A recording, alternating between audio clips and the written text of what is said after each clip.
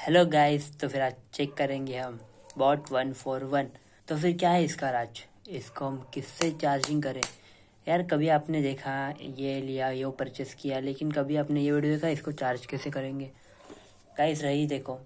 Watch रहे या अपना ये Bluetooth boAt one four one रहे. हमें चार्जिंग बस ट्वेंटी वैट से ही करना है, क्योंकि अगर आप ज़्यादा वैट से करते हो, अपने पर्सनल चार्जर से तो बाद में इसका जो बैटरी है अंदर का वो हीट और ये बैटरी फुल हो जाता है, ठीक है? उसकी वजह से ये भारी हो जाता है।